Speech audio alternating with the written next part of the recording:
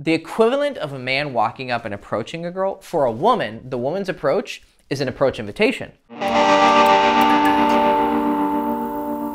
Hey guys, Hector Castillo Poppy from girlschase.com. Today I want to talk about the difference between chasing girls and having girls chase you. Now, this channel is called Girls Chase. Sometimes people will be like, oh, you're chasing girls. I'm like, no, it's not how English works, man. So girls chase, girls chase us. That's the name of the website, the name of the channel, and it's purposeful because we want girls to chase us. However, this doesn't necessarily look always like you would think right? Because in your mind, you have this ideal, this fucking fantasy where girls are, you know, you spray fucking a body spray and girls are running across the beach because they want to fuck you, right? This is our fantasy that somehow we're going to be some guy because of our status or our money or our good looks or because we think we're smart or we think we're funny or you know because we've gotten laid a few times or even a lot of times okay all of a sudden women just want to suck my dick on command right this is not gonna happen. The only time that will happen in like large quantities is if you're famous or in a social circle where like you're a really well-known guy and there's hordes of beautiful women in those social circles, right? Uh, nightlife industry, you know, where you're just always at the coolest parties with the coolest people and girls are just like throwing themselves at you. But even then, you're gonna have to do some work, right? So I want you to uh, kind of get rid of this illusion of, of what it means for girls to chase after you, right? Because most of the time, outside of those extreme circumstances, even if you're a cool guy or attractive guy, dress well, maybe you're not actually good looking, you're not tall, you can get in shape though, it's something you can change, right?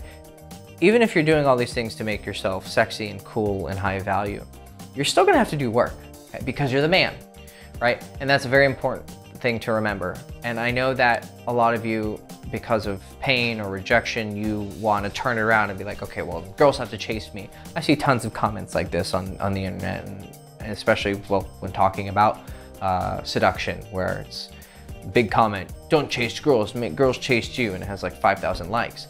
And what I what I don't understand with some of these guys is I don't think they they understand what that actually means, right? It's it's a it's a nice catchphrase, right? And and there's a lot of you know, there's a Morgan Freeman interview where he talks about having girls chase you. Well, there's he's definitely in a certain situation where that works, right?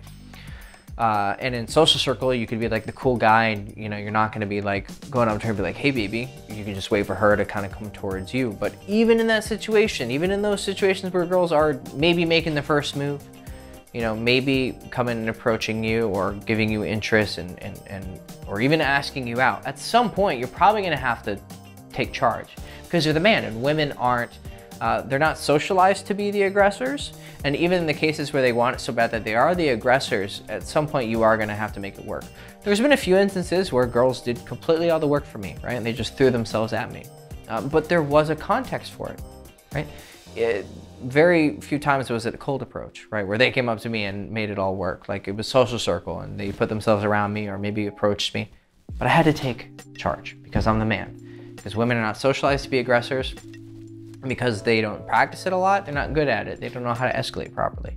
Okay, and and that fear and lack of knowledge is going to keep them from doing it, right? So you as the man, you're going to have to take charge. You and it could the entire. I want you to the entire process can be you taking action and she can still be chasing after you right when a man is being assertive and approaching her asking her out da, da, da, he's only chasing once he has gone beyond what the girl is ready for or has subtly or overtly invited him to do. Right? Let me say that again. A man can make all the moves and not chase. The moment he is chasing is when he is going beyond the point that the girl wants him to go. And she's no longer interested. And then it becomes a very steep fall where she loses interest. Okay? You're talking to a girl and she kind of starts to get, you know, distracted or whatever, and you start talking faster and you start trying to get her attention. And then that pushes her away even more and she's like, hey, I gotta go find my friends. I'm gonna go to the bathroom, whatever. Right? Or you're on a date and you can kind of tell she's not that interested and you try to talk more, you try to tell stories, you try to be funny, and she just gets more disinterested, right? Or you ask her out once and she's like, no thank you. And then you text her five days later and text her again. But there's times where you can be persistent, even, right? Not just taking action, but you can be persistent and not be chasing because she's still giving something, right? If she's still, now, the degree to which, you know, she's giving you something or not, or she's just leading you on, you need experience and you have to have the proper context, right? And some guys who are still really good with girls, there's gonna be times when you chase. That's the risk you're gonna take as the man. Tough fucking luck, okay? You're the man. You're the approacher. You're the conqueror. You're the adventurer. You're gonna approach girls, ask them out, right? You're gonna have to text them, maybe send the first text. Even after you sleep with a girl, you're probably gonna still be having to take action, okay? You, you're really not gonna get a girl totally crazy about you and doing everything for you, usually until you slept with her a few times, okay? And it can happen before, right? It can happen way down the line where you're still always just taking the helm. And it's not necessarily a bad thing for you to be the man, but I just think that a lot of guys, because they, like I said, they've been rejected, they have this fantasy that they want girls to come after them. But when I think about that idea, the, the exaggerated, I'm gonna make girls chase me, I always think about like when girls go through a breakup or something and they're like, I'm gonna be the baddest bitch. And they just post like inspirational quotes on fucking Instagram and they're just like, I'm so independent and I don't give a fuck. And they start posting pictures where they're all sexy and da da da da. And I'm just like, it's so fucking dramatic. Okay, now I've done it too, you know, i am a dramatic motherfucker. So I, I, I can be aware of what they're doing without judging, right? Or judging it, but just know that I'm guilty of it as well. But it reminds me of that. And I can just imagine these guys who write this, I'm gonna make girls chase me. They kind of just like crossing their hand, like, oh. But the question I have to ask them, and here it is, okay, does that mean you're never gonna approach a girl? Bro, you're unless you are fucking good looking or sexy as shit or in a really cool social circle, have fun. You're never gonna approach a girl because you're chasing a girl. Your ego is getting in the way of success. Okay. Okay, you'll approach a girl, but you're not gonna ask her out okay, what? You know, you're gonna wait for her to ask you out. Okay, that might happen a few times, like maybe five times out of like 50, probably even less, right? Um, yeah, no, probably out of like 500, right? So, okay, well, you'll ask her out, but you know, if you ask her out once and she doesn't say yes, then you're done with her. Okay, that's a fair principle, right? Most of the time, once a girl isn't interested the first time, very rarely is she going to want to see you again. But who knows? Maybe two weeks later, maybe a couple months later, she might hit you up, right? There is a way to be persistent without chasing. But then you're getting into territory where, you know, you are, you know, probably chasing. Okay, fine. You're going out with girls and you're having fun. Okay, well, are you going to wait for her to ask you out or ask you home, right? Get you home to fuck? You're going to wait for her to say, hey, you want to fuck or hey, you want to go watch a movie? Again, it can happen and has happened. It's much more rare because you're the man. You're gonna have to take action because she doesn't want to look like a slut too. She doesn't want to look like she's easy. So girls are gonna kind of play aloof. That's their game. It's very receptive, and we'll get that to that in a second. But you're gonna be making the move even when she wants it to happen, and the the time when you're chasing is when you do it at the wrong time or too much or too little, right? So, okay, you're asking girls home and you're hanging out with them and then you want to fuck them and you kiss them and they're like, oh, I don't know, I don't want to kiss. And you go, okay, well, I don't want to chase. Well, okay, that's fair. You should relax and you should chill. But, you know, maybe 10 minutes later, she starts snuggling up to you. Are you going to try and kiss her again? Right?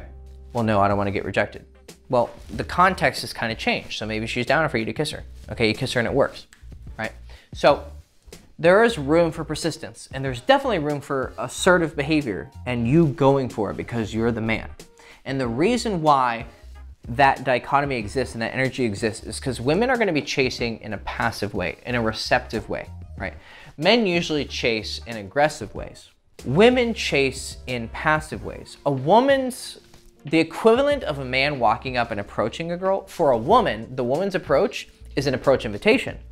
Her looking at you for a second and a half, or looking at you with very sexy eyes, or checking you out, or looking at you and smiling, or putting herself around you right?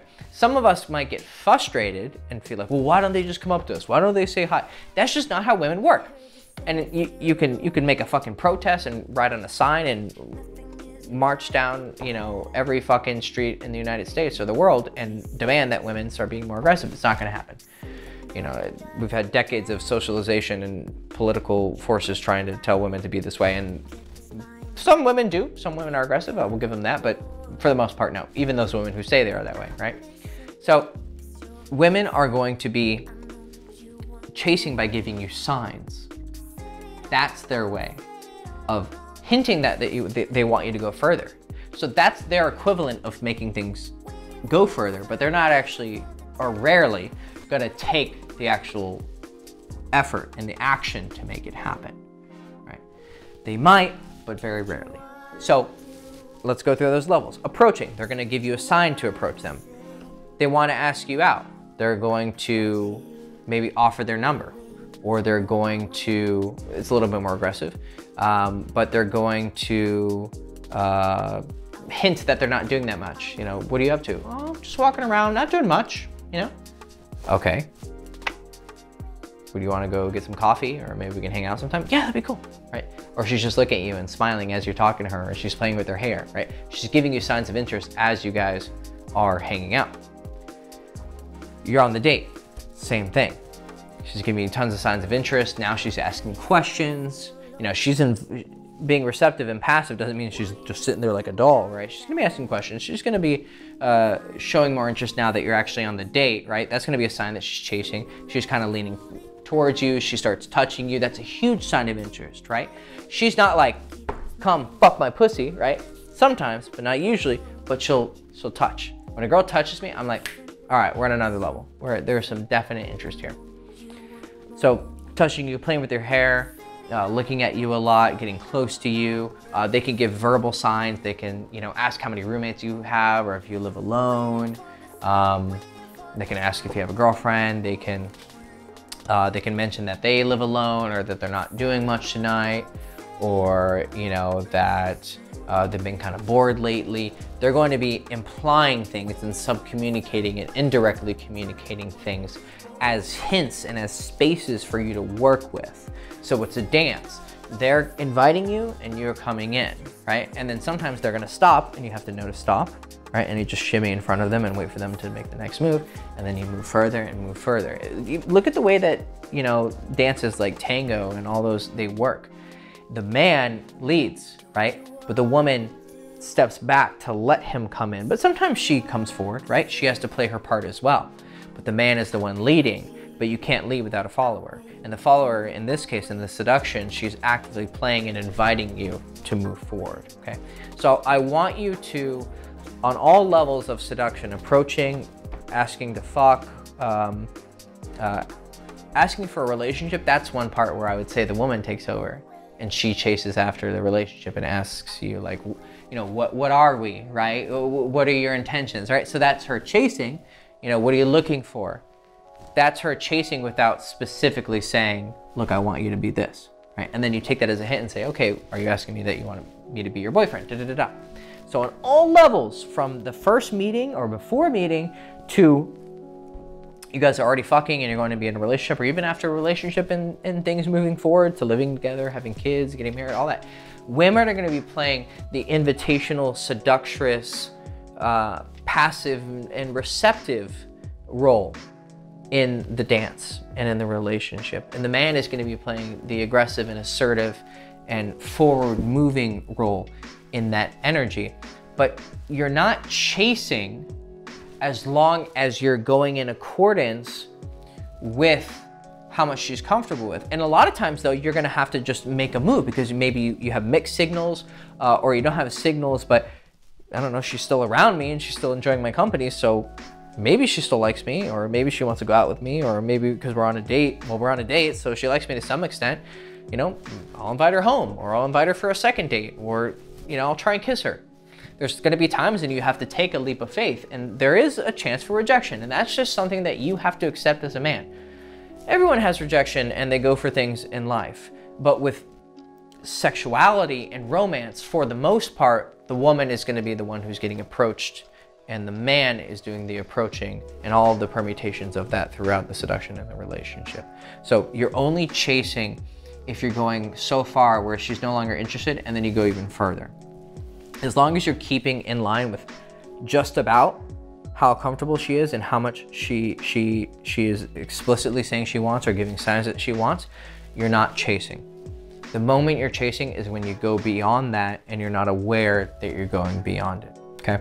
So have girls chase you, by becoming an attractive man who has stimulating conversation, who is sexy, who, who, who knows what women want, and you become that man by liking this video and subscribing to the channel and ringing the bell and checking out our courses in the description below. It's gonna take time, it's a process, it's a skill, it's an art, it's a science.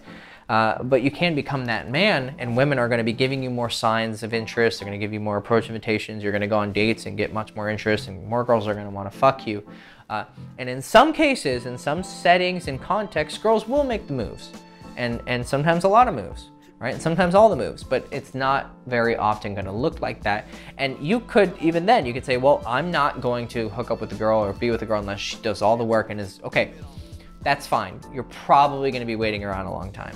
But if you want to take, as men, a proactive approach to your dating life, and if you want a date, you go out and meet a girl, and you're willing to face that rejection because it's really not that big of a deal, right? So the fear of not chasing, not wanting to chase girls is a good one. You should be aware of it, but you shouldn't let that fear goad you into not doing anything. You're so afraid of chasing that now you just don't do anything and you're not getting anything. Whereas the guy who's willing to have some failure and sometimes chase and sometimes misread things, okay, he took those risks and he fell his face first in the dirt, but the next day he found himself face first in some pussy. So there's some risk and there's some reward. And as men, we are the adventurers and, and we're the pirates and we are the conquerors and we're the builders and the achievers. So embrace that masculine nature and go out and be willing to face failure. Uh, but of course, be aware uh, that you need to pay attention to how much the woman is, is into and how much she's not into and learning that through experience. And eventually, once you do become a high value man by learning and by following our philosophies, you are going to eventually find girls who are really just going to chase after you and are all but inviting you to fuck them. Okay, cool. Hector Castillo Poppy from girlschase.com. Hope you enjoyed the video. Please like, subscribe, ring the bell, follow me on Instagram, and chase me on Instagram if you're a girl. And I will see you very soon. Bye.